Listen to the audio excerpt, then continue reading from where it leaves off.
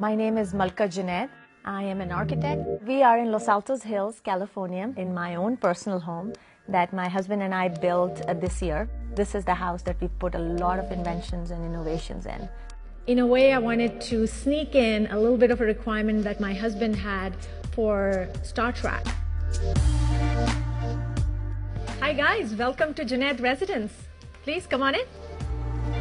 The cost of the home is approximately 10 million. So we have six bedrooms in total, six and a half bathrooms, then dining room, and the main living room.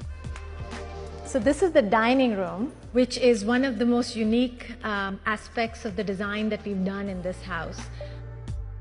So if you see it from down below, from the basement side, it's actually Star Trek Enterprise in a very abstract manner. But to experience the dining room to the fullest, you have to see it with this whole door wide open. So the style of the house is very minimalistic modern. It's a very much of an open floor plan. From the kitchen, you can see the swimming pool if the kids are swimming. You could see the family room if we all are watching TV. So the idea is it's a very interactive flow of the house. I really wanted to use this pool to create some color.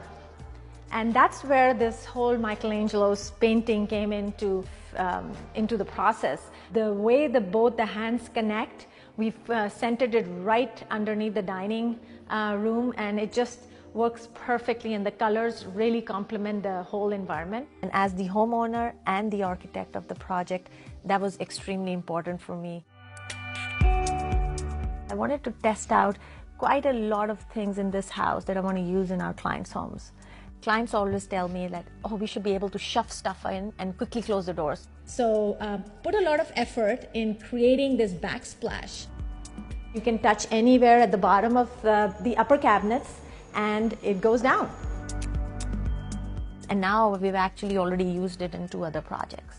Apart from this, we have another uh, very fun gadget in the kitchen. We created this uh, spice rack. It has all our spices, our everyday knives, oils. Um, we also have a pot filler in it. I just like everything within reach. I want it to be accessible when needed.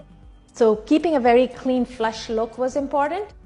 We selected this stove for this one very reason. When you're not using it, it's flush.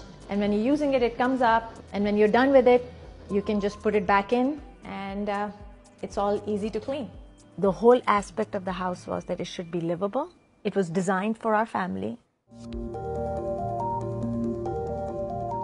So now we'll show you the basement, but to get there, we're going to use the elevator, which is kind of like Beam Me Up Scotty from Star Trek.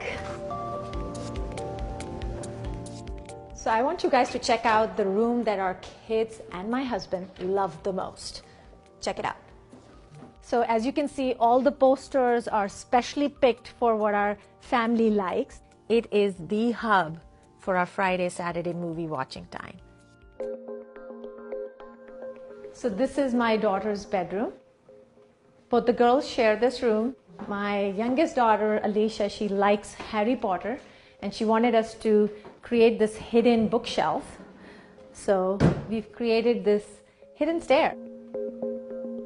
Hi girls. So this is our girls' play loft. So this is where we do a lot of artwork, a lot of puzzles. The girls have their library here. There's a very fine line where you can appreciate architecture, but you'll be like, there is no way I can live in this place. It's like a museum. And as soon as we started thinking about how we are going to be living in it, it started evolving into this warm, cozy feel. I loved showing the house to all of you and uh, hope you guys had fun.